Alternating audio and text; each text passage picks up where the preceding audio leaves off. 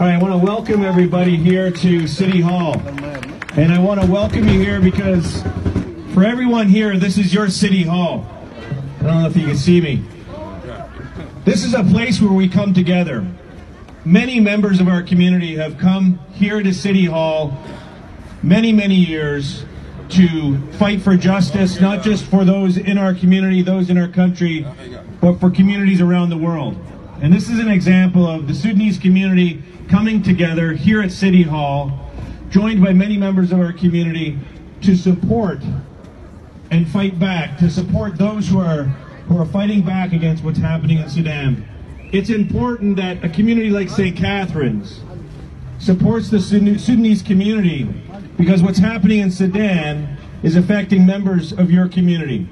And we stand with you, and we can assure you that we will stand with you to fight back as the Canadian government does against what's happening in Sudan. Thank you.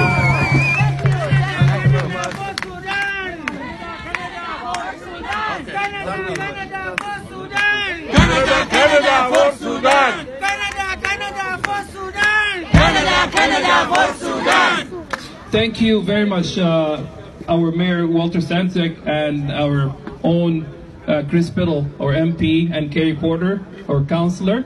And I always say, the only match to the Canadian harsh, cold weather is the warmth of their people. We really feel like we're home because we're all here together, sending one voice Stop killing in Sudan. Stop violence in Sudan.